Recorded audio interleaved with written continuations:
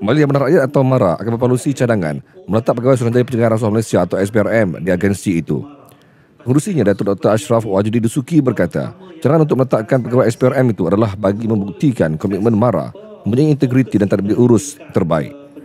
Beliau berkata perkara itu telah pun dibincangkan bersama Tan Sri Muhammad Ibrahim yang juga ahli majlis MARA untuk diperhalusi. Perkara itu akan dibincang dalam mesyuarat majlis minggu hadapan. Beliau berkata demikian pada majlis berbuka puasa MARA bersama media di Ibu Negara semalam. Turut hadir pengarah urusan kumpulan The New Straits Time Press Malaysia Berhad atau NSTP Datuk Ahmad Zaini Kamaruzaman. Itu sebab saya sebagai pengurusi MARA memberikan satu jaminan dan komitmen bersama dengan pasukan dan keluarga besar MARA untuk memastikan aspek tabi urus, aspek ketelusan, aspek good governance, uh, the best practices in terms of integrity kita akan pastikan the highest level.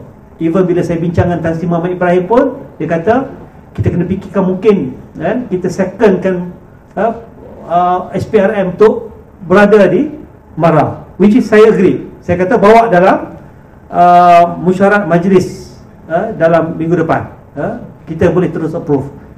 Untuk membuktikan bahawa komitmen kita on this kan is very important. Sebab kita nak ada agenda yang lebih besar yang lebih daripada itu yang memerlukan asas-asas ini dibina supaya insya-Allah kita cuba sedaya upaya untuk mengelakkan daripada ketirisan, kebocoran, salah guna kuasa di pelbagai peringkat ha, untuk kita mewujudkan untuk kita memastikan mara ini terus cemerlang dan gemilang.